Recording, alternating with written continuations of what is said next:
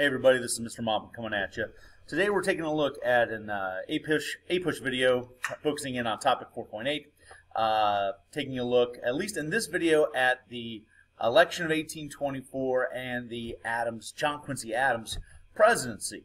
Uh, but before we can get into the Adams presidency, we have to talk about how John Quincy Adams actually becomes president of the United States. And for that to happen, boy, do we got a wild election, the election of 1824. So let's break down who the uh, contenders are in this battle, in this matchup here. Uh, now, uh, you got some heavy hitters here. Uh, first off, from Kentucky, you got Henry Clay, who's already made a name for himself as the leader of the Warhawks that kind of helped get us into the War of 1812. He is also the uh, choreographer of the Missouri Compromise. Uh, he is also the uh, developer of what's going to be called the American System, which is going to be trying to use federal funds for internal improvements, you know, infrastructure, schools, stuff like that. Uh, you got William Crawford down here from Georgia, longtime uh, politician. You got John Quincy Adams over here, son of former President John Adams. John Quincy Adams has, you know, quite a resume in government by the time we get to 1824. Uh, this guy had been an ambassador to just about every major European country by this point in time. Uh, he was also Secretary of State during the uh, Monroe presidency. Uh, he's the, the writer of the Monroe Doctrine. He also negotiated uh, the end of the War of 1812 with the Treaty of Ghent. He also is going to be responsible for negotiating uh, border issues with British Canada to the north and Spain to the southwest. So John Quincy Adams has quite a resume. In fact, one of the most impressive resumes of any candidate for president.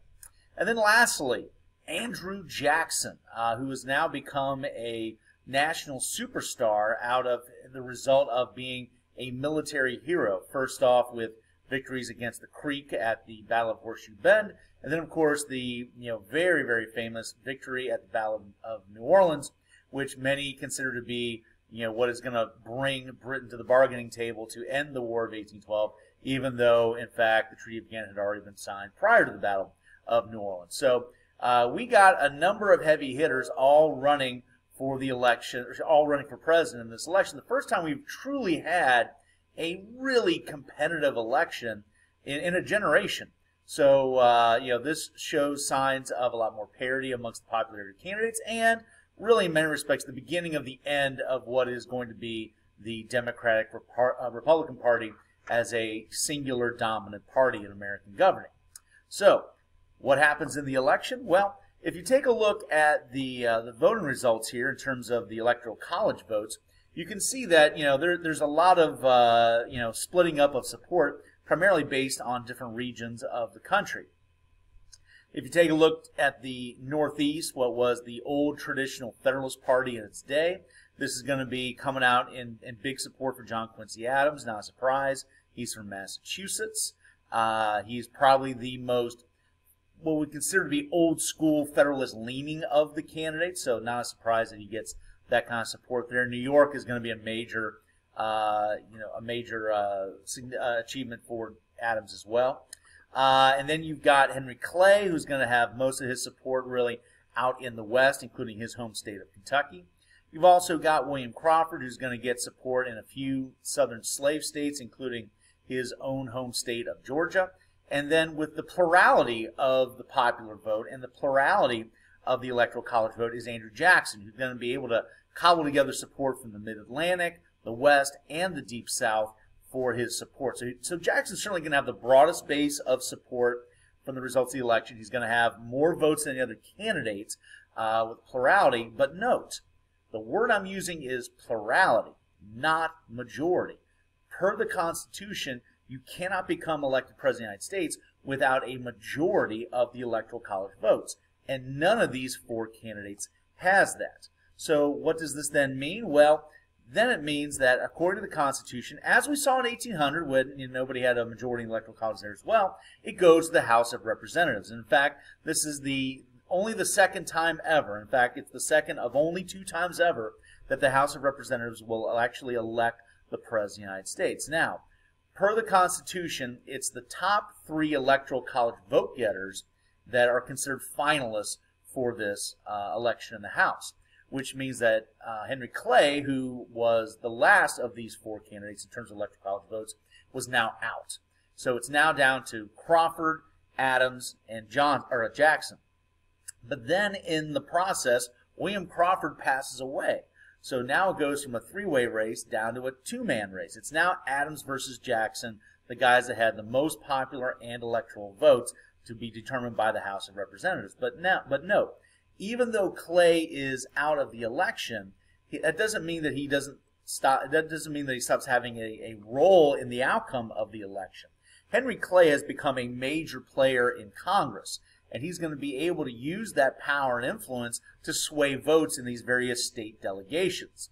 And Henry Clay will basically form an alliance with John Quincy Adams and John Quincy Adams will be able to use Henry Clay's influence to gain more of these state delegations for support. And in the end, even though Andrew Jackson goes into the House race with more popular votes and more electoral college votes than John Quincy Adams, Henry Clay and John Quincy Adams form that alliance and are able to get John Quincy Adams a majority of the House state delegations to give him the majority to excuse me, to allow him to win the election of 1824, much to Andrew Jackson and his supporters' chagrin, especially with what happens next. When John Quincy Adams becomes president, he is of course able to appoint, you know, the top level, you know, cabinet positions. And the most coveted of these positions by far was Secretary of State. Secretary of State has, by this point in time, served as kind of a stepping stone to becoming president of the United States. You know, previous secretaries of state such as Thomas Jefferson and James Madison and now John Quincy Adams have all gone on to be president. So the thought was if you become Secretary of State, you become a very, very strong candidate. In fact, maybe a likely future president. Well, who does John Quincy Adams bestow with this important honor? Henry Clay, the guy that helped him get elected president. Well, this is going to make Jackson and his supporters howl. They're going to be claiming that, you know, what this is is really a corrupt bargain.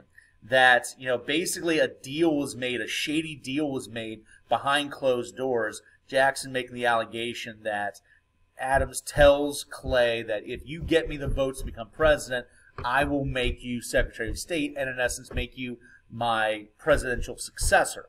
So, note, Jackson does not lose gracefully. Jackson believes that he has been swindled out of his uh, rightful victory as President of the United States, and Jackson will never forget it. And more importantly, he will never let his supporters forget it because here's basically what's going to happen. Jackson and his supporters, out of a sense of feeling cheated in this election, are going to make it their personal mission to make the next four years of John Quincy Adams' life a living hell. Uh, they basically want to really, really, really uh, strangle John Quincy Adams' presidency. And they do a pretty darn good job of that. So let's dive into this uh, John Quincy Adams presidency. Now, uh, John Quincy Adams, even though he is, you know, a Democrat Republican, that's pretty much the only party in town anymore. Uh, John Quincy Adams had a lot of what was the old time, you know, kind of Federalist sympathies in terms of what he supported. And what that includes is support for the idea of a stronger, more robust federal government, uh, you know, kind of in that Hamiltonian sense, and a federal government that would take on more responsibilities. In contrast with more traditional Democrat Republicans like Andrew Jackson, for example, uh, or Jefferson and Madison Monroe, that believe that the federal government should be small and let most of the responsibilities of governing really be taken on by the states. So Adams is going to be pushing for support of what is Henry Clay's American System program. So, you know, more support for using federal funds to build national roads and federally funded universities. Heck, even funding for a, an, an observatory. Uh, but when this is brought to Congress, uh, Congress is controlled, you know, more by uh, Jackson supporters than John Quincy Adams supporters. So note, these Jackson supporters, as you as you saw from the electoral college map, are mostly going to be from the southern and western portions of the United States. And these folks did not have that old timey federalist notion of what the federal government should be doing. So when the American system is proposed by Adams and brought to Congress and you know kind of championed by Henry Clay, they're going to be strongly opposed to it. They're going to see it as a waste of taxpayer dollars. They're going to see this as you know an encroachment of federal power at the state's expense. And in fact, Jackson and, and many of his supporters are going to just straight up call the American system unconstitutional, that this was something that was beyond the purview, beyond the constitutional uh, boundaries of the federal government. So basically, Jackson's supporters, you know, the, what are now starting to eventually become what we would call the Democrats, are, are going to start to kill the American system uh, plan in Congress. Uh, and as controversial as the American system proposal was, that's going to be nothing compared to what is going to be the tariff bill of 1828. Now, the tariff bill of 1828 is going to be thrown in into Congress as a way to kind of put John Quincy Adams in a bit of a bind politically. The tariff of 1828 is going to propose to raise significantly the amount of tariff rates for imported goods. Now, this is something that Federalists would traditionally support. Federal, you know, old school Federalists, I should say, people like Adams, folks from New England, are going to be traditionally supportive of higher tariffs because not only does it bring in more revenue for the federal government to expand more you know opportunities using the federal government's power, but it's also going to be good for American businesses. Remember, we're now viewing tariffs as a protectionist type of strategy. So in other words, using the tariff to make foreign competition for goods more expensive, therefore, you know, making the American products more uh, appealing in terms of price. But remember, Southerners and Westerners hate tariffs because even though the New England business owners are going to profit off of the use of tariff policy. Remember, as we've said before, what do tariffs do overall? They overall have an impact of making prices of not just the foreign good, but the American good more as well. Because once you have, like, let's say, for example, that, you know, the tariff being implemented creates a $5 difference between the American and the foreign good. Well, now, since it's capitalism, the American company's not going to just leave that gap at five dollars, you know, for the difference. They'll raise their price to try to maximize profit and maybe shrink that difference down to two dollars. In other words, still cheaper than the foreign competition, but now able to make more money off of the tariff. And note, Southerners and Westerners are really more of the consumers of this. So what this does is really outrage these Southern and Western members of Congress. These folks are traditional members, uh, traditional supporters of Andrew Jackson, old school Democrat folks, uh, and they will call this the tariff of abominations. And think of that word, abomination. You know that that's you know that's like something that's like almost of biblical level uh, language in terms of strength and power.